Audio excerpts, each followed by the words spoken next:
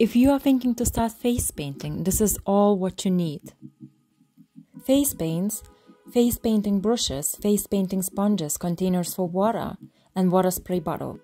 Instead buying loads of different pots of face paints, I would recommend this small palette. These are water activated face paints. It has all colors you might need and it's very compact.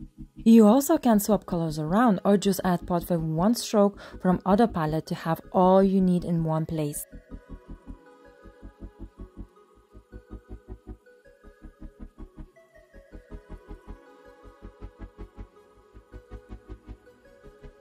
I love the way it has all information at the back and once you open you have to use in 12 months.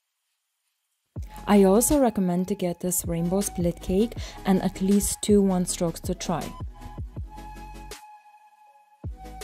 Six brushes for beginning is enough. I have two little ones, they called number two pointers. I use them for outlining. The reason I have two, one I use only for white and the other one for dark colors only.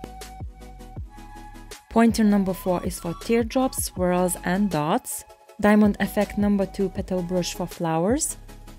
Then this one round and flat number 4 by Diamond FX. I literally have 6 of these and I use it for everything.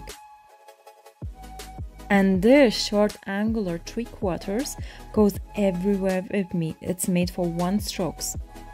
You will need at least 15 sponges for beginning. Sponges could be round like this and I cut them in half because it's easier to apply face paint on the little face.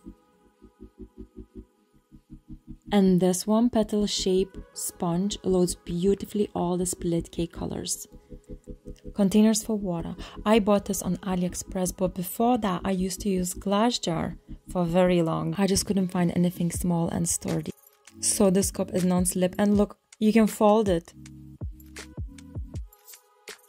And the last one on the list is water spray bottle. I have this one over 8 years. It used to be a body mist. I tried few other different bottles, but I always came back to this one as it sprays perfect amount of water.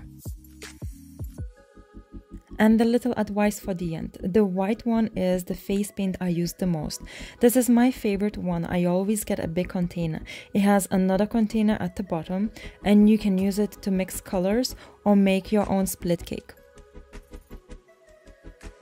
Thank you for watching and see you in my next video.